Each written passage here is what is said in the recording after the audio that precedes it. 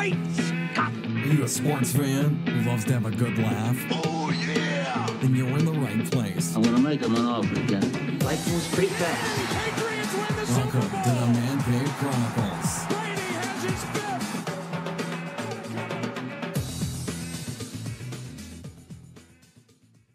Welcome to another episode of the Man Cave Chronicles podcast, a podcast of talk culture where everyone has a story.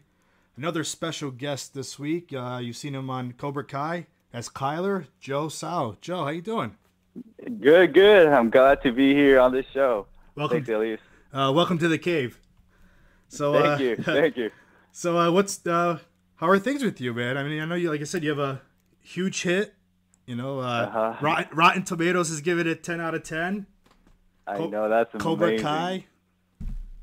Yeah, Cobra Kai is is just taking over. It's become its own thing. Um, yeah, we finished shooting like a few. Yeah, it's been a few months ago now, and it's just taken off. And uh, it's I'm pretty happy that it is because it's breaking a lot of stereotypes. It's uh, it's yeah, it's actually put pushing forth the Hollywood agenda, like of you know having more minorities, you know, and Yeah.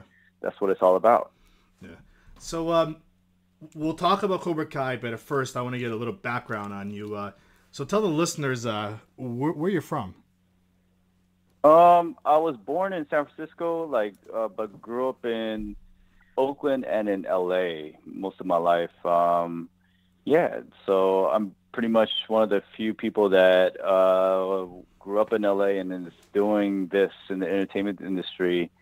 Yeah, so because like most of the people in the entertainment entertainment industry are from out of town, from the Midwest or something, you know. Yeah. Um, Yeah. so uh, are you in school right now with uh, while you're acting? No, no, I just graduated and um, I'm just right now trying to become a full time actor. We'll see how it goes, but uh, of course, uh, along with that is like my parents all telling me, don't do that and don't go into arts and become a doctor or a lawyer or something. So, yeah, we'll see where this goes, man. Yeah. What do you like? Uh, what are you into? You know, like uh, you know, like as a kid, everything. Were you into sports or anything like that? Or what do you yeah, enjoy yeah, doing? yeah. I'm into all like rec sports, like um, football, basketball. Uh, I do play like soccer on the regular because that's like that's like my thing. Yeah. Um, my dad was like a professional soccer player, so He was. That's yeah. cool. Ever since yeah, ever since I was like crawling, he'd be you know be playing around with the soccer ball. Um, yeah, so that's like my game, my go-to, and um, yeah, I like video games too. I think everybody does. where did, hey, where did your father play uh, professional soccer? Um, he played it in Korea. Okay. Um, yeah, so like he was on the national team when he was younger, and yeah, ever since I was a kid, I was training to become a soccer player, and um, also training with like kung fu, and uh, yeah, just growing up, that's what I grew up with, like kung fu and soccer, and just uh, yeah. But later on, he told he tells me not to become a soccer player, but become like a doctor or like you know something else. I think I think that's like I think that's like every stable? that's like every parent, you know, like you want to tell them to go that you want to go do this, and they're like, you know, oh, why don't you go become a teacher Yeah. or an accountant, Yeah. or, you know, a doctor, a lawyer. Uh, Exactly. like they all want like something professional or like you know a, a licensed position. Yeah. as they say. Uh, yeah. So so what made you pursue acting? Oh man, I loved it. Um, it, it was just honestly to me, it was a breath of fresh air. Like uh, um, at the time when I was going through a lot of stuff, like yeah, I was feeling suicidal. I was feeling just a lot of depression and stuff like that, and um, yeah, uh, acting was my way out. Uh, I could be whatever I want, whoever I want, and to me, it just literally yeah saved my life. So um, yeah. Yeah. that's why I love acting. It's just amazing, and because like you know everything that you hear from in at, at home is like, no, you can't do this. No, you have to become that, and all those pressures just it just adds up, you know, so much that uh, acting became my um, you know release. Yeah. I can relate on the depression thing. I went through a little phase in my life too where you know, I wasn't happy with where my life was and everything, and I started getting anxiety attacks, and it wasn't fun, man. It wasn't fun. No, it's a really dark place, and then you know, uh, thank God I found something like this. You know. Yeah. So tell us about the first time that you uh, went and you know, like, so. You, so you said you were gonna, you wanted to do acting. Did you take it in school, like acting classes? Yeah, yeah, you- yeah. I definitely did. All my training was from my school. Um, I did a lot of theater, uh, and I was like really blessed to go like to um, to Asia, like um, uh, and study over there, like with a guy who uh, who studied under like Stanislavski's method. Uh, uh, yeah, it was just amazing. Like I basically lived, breathed, and like slept in like a acting school when I was uh, over in Asia. And to me, that's like um, when I came back, maybe like two, three years ago, three years ago now. Like um, that's when I feel like I grew the most as an actor. Um, like just studying over there and learning it over there. Yeah. Um, yeah, it was definitely cool. And uh, yeah, I recommend anyone that goes into acting to definitely, you know, like own your craft and just keep keep at it. Yeah. So how, how did your parents feel like when you told them, I'm gonna pack my bags up and go to Asia and study acting Yeah, for two to three years? yeah, I know. Uh, they didn't know about it. Um, I just went and uh, I lived out there. Like sometimes I lived out there being homeless. I did every all sorts of stuff just to survive and become an actor.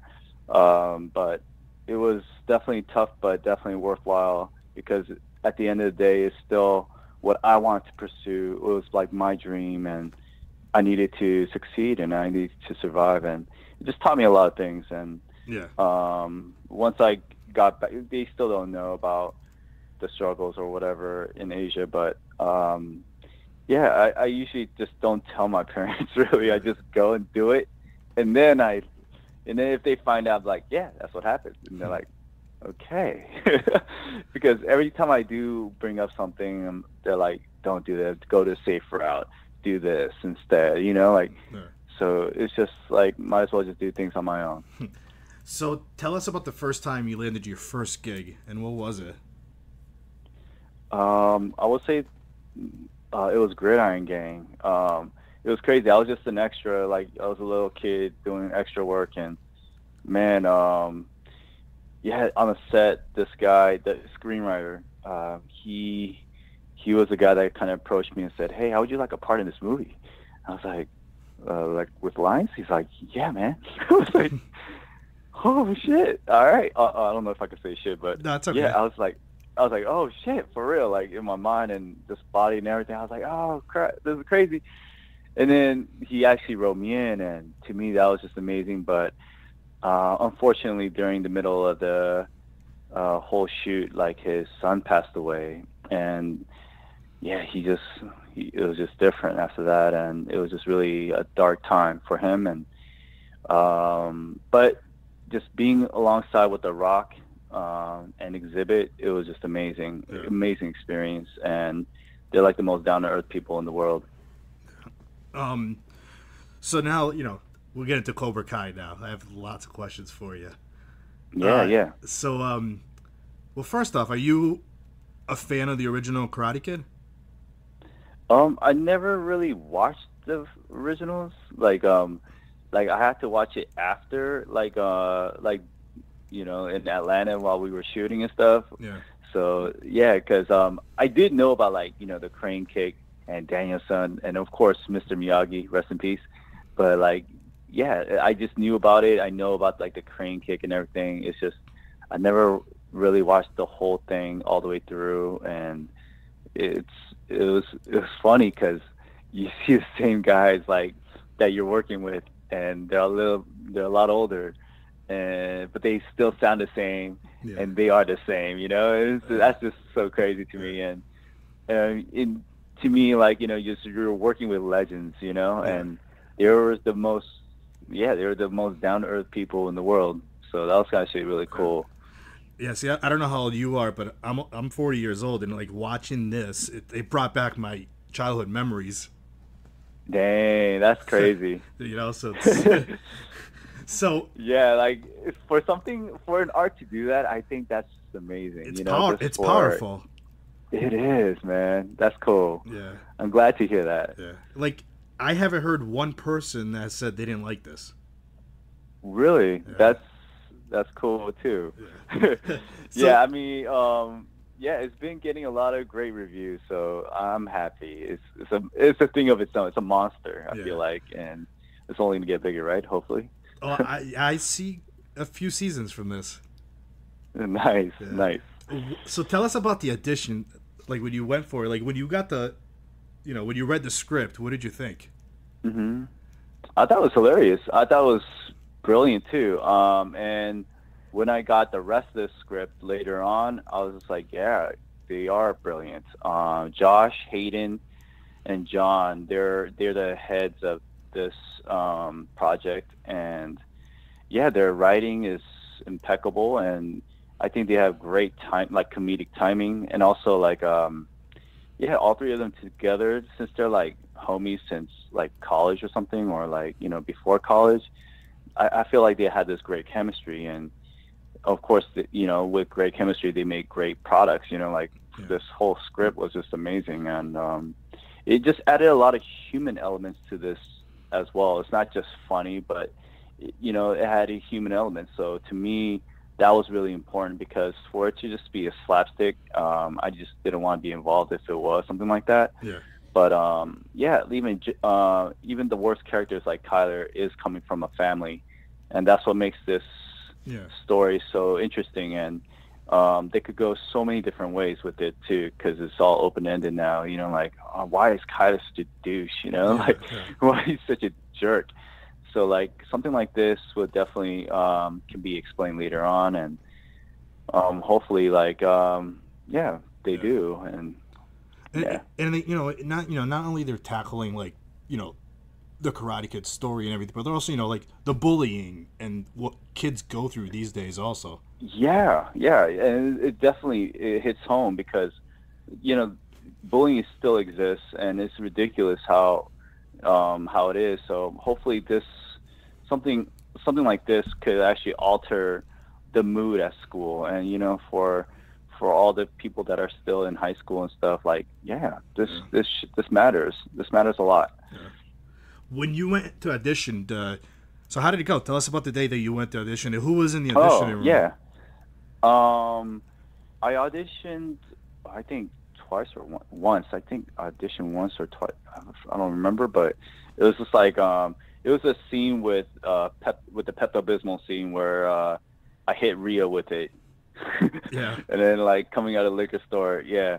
Um, it was that scene that I had to audition and uh, reenact, and yeah, it, it was just. I thought it was funny, but also like I want to because I didn't have a lot of background on Kyler. Um, I had to make things up so that I could. I could. There's a reason for me to be a douche, you know, or like a jerk, and um, yeah. So then I just uh, I made up my own, you know, background where like you know it comes from somewhat of a you know a troublesome family in a sense where there's too much pressure and o- other things and I just went in there just releasing all that angst on um, uh, on an invisible person named Ria or Miguel.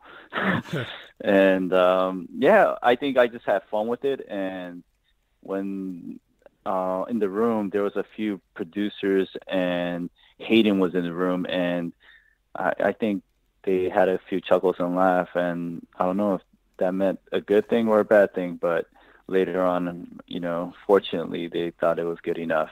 So uh yeah, I was kind of happy about that. Um and also I never really knew that I got casted for this until like 2 to 3 days like before we had to go to Atlanta. So Wow.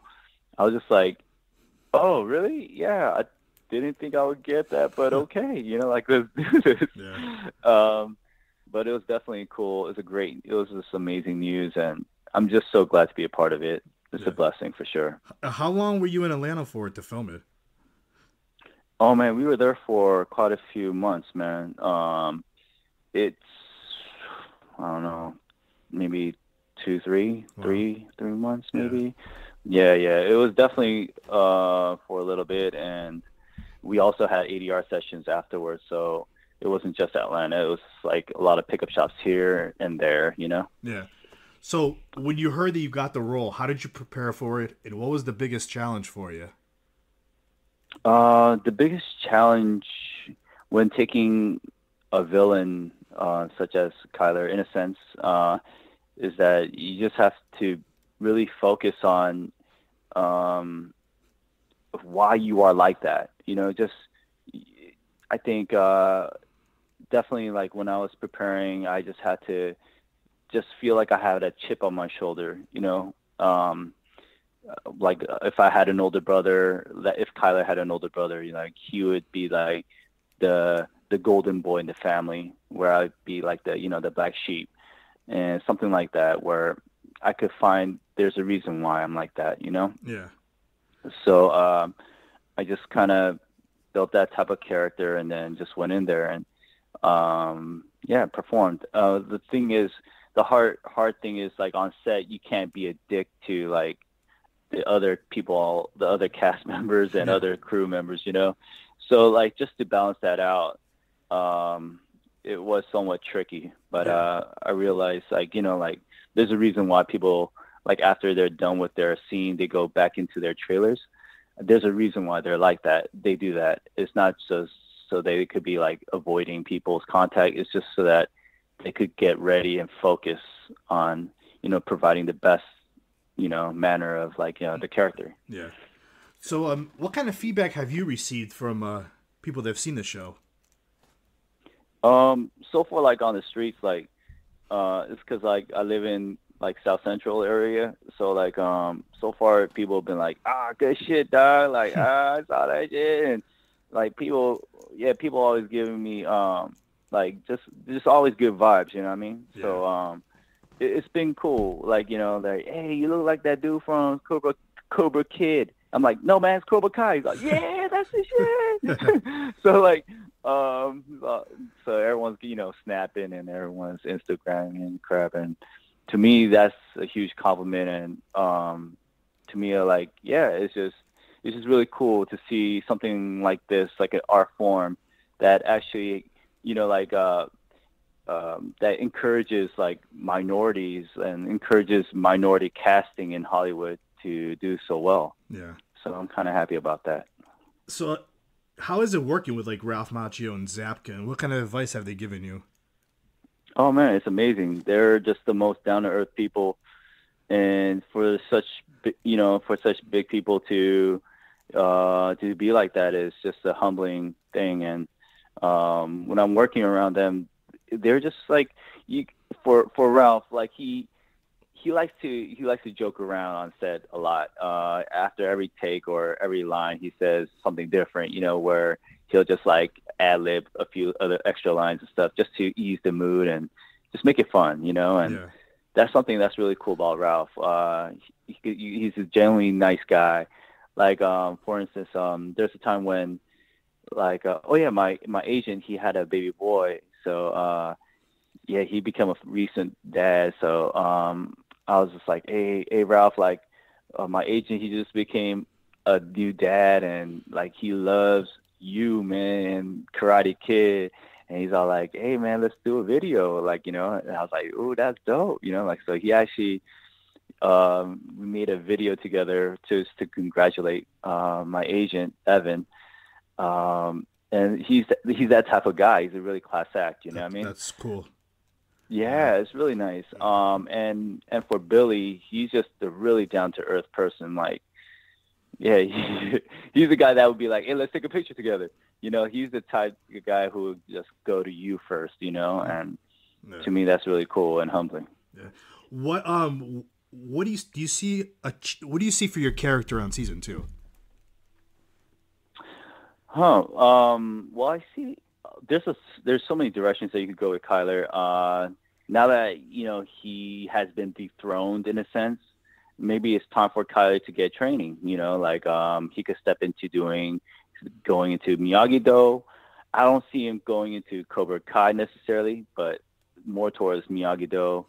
or more towards like the more recent phenomenon of um, mixed martial arts. You know, like so because he has a he's coming from a wrestling background, so Yeah. I could see him going um, either way. We'll see. Like, yeah, we'll see. That's all the that's all the two the creators, the Yeah. three guys. So Yeah. um, I'm really interested in what Kyler could bring, and um, hopefully he could re- wreak some havoc maybe in season two. We'll Yeah. see. Uh, Tell us about uh, one of my favorite scenes is the cafeteria fight. Yeah, that was an amazing scene. Gosh, um, uh, the stunt coordinator named Hiro. He is the um, power. He's the, he is a Power Ranger. Um, he's the guy that kind of coordinated everything, and he made it look really just just really dope. You know, um, we had great stunt guys on it. They're all just professional. and They all did a great job reenacting and just trying to reenact our body movements too. You know. Yeah. Um, but uh, something that people don't know is like on that on that on that day, um, Miguel or Xolo, uh, the guy who plays Miguel, he he's supposed to you know swing at me. He goes, um, I, I I think I swing at him first, or, or I grab him, or I try to swing at him first, and he blocks it and says, "No, it's Cobra Kai" or something like that, right? Yeah. Yeah, yeah. Um, it's like, oh, I'm I'm sick of your stupid karate or something. That's what Kyler says, and he takes a swing, but um, uh, Miguel blocks it and says, "Now it's Cobra Kai." And then there on that take, on that first take, he actually socks me in the face. Oh man. yeah, so I'm like, oh man, what the heck is going on? This is turning real. uh, but then he was quick to apologize, and it was cool though. Uh, yes, I took a real hit from um, and uh, but it was, you know, like we're all me, Xolo, all the cast members, we're all so tight that it didn't really matter. We Yeah. just kept on shooting. That's awesome. Um, yeah, yeah, it was definitely dope. Um, that yeah, that take that took like a few days to kind of coordinate everything, like um, with Hiro, the stunt coordinator.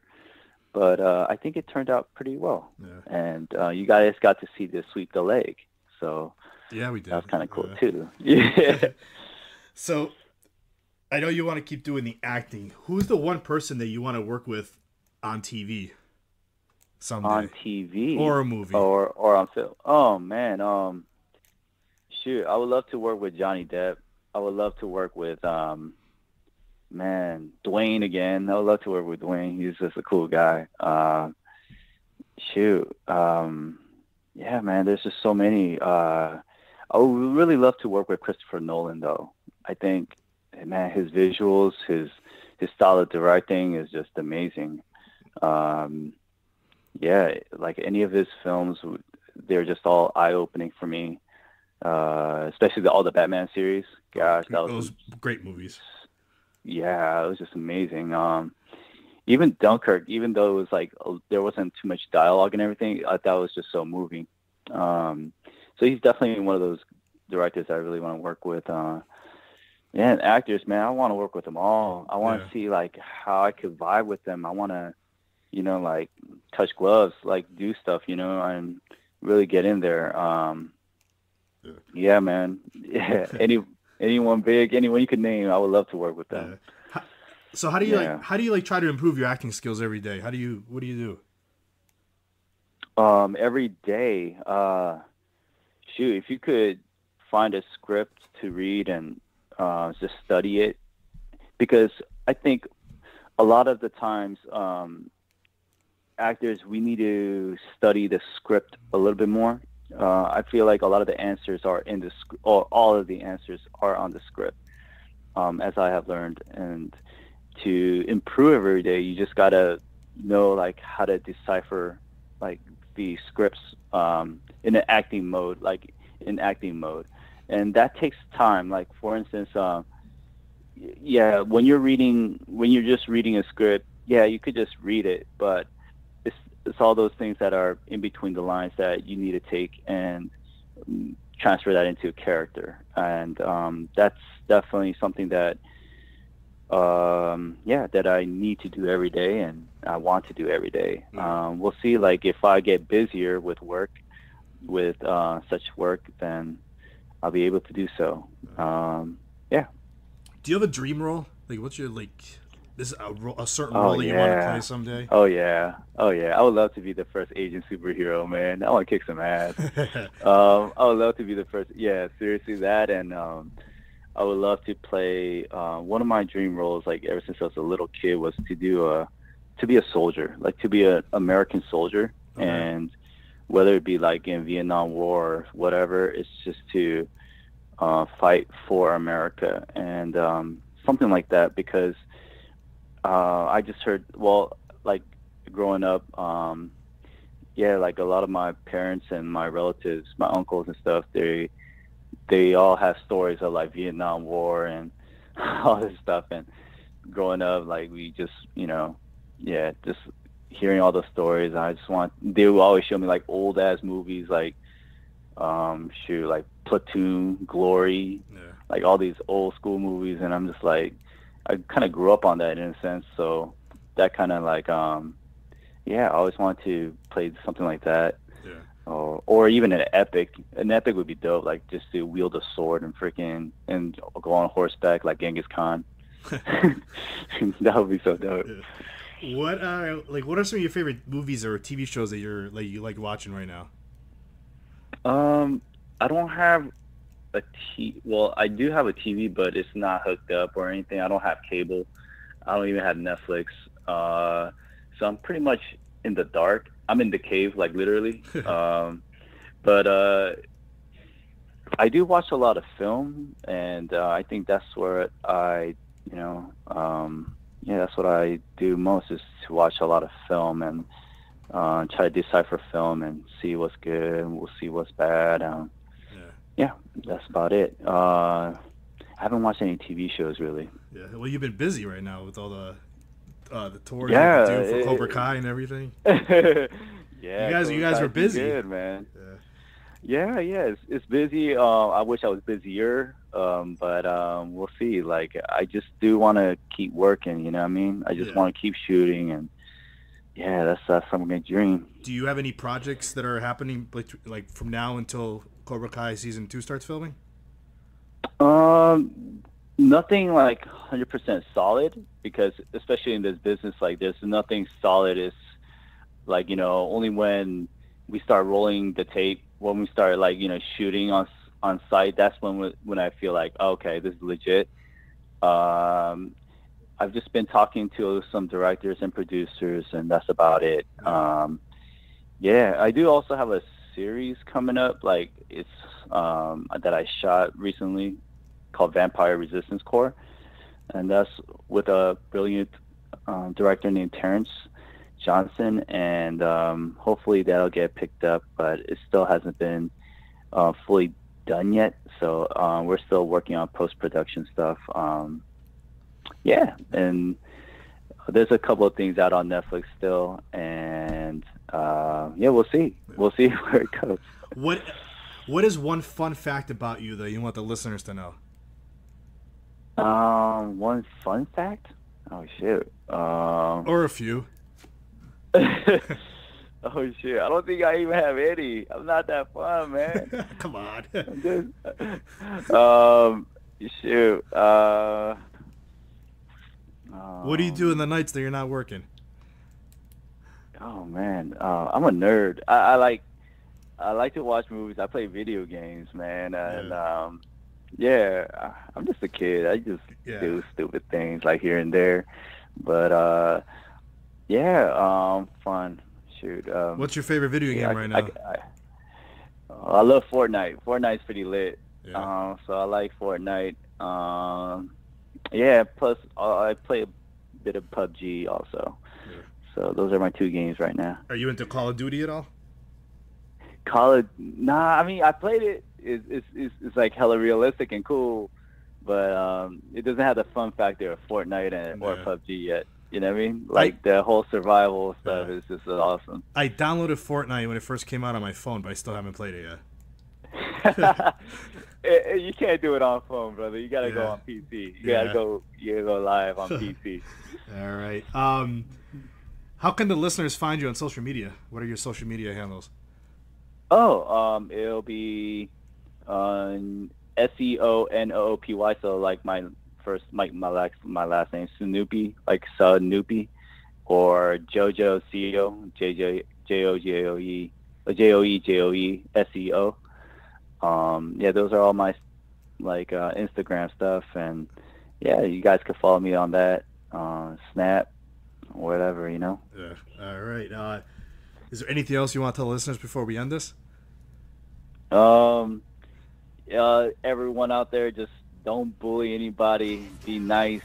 Just spread love. Uh, don't be a Kyler, guys. And um, yeah, just keep watching Cobra Kai. Thanks for coming on. Absolutely, man.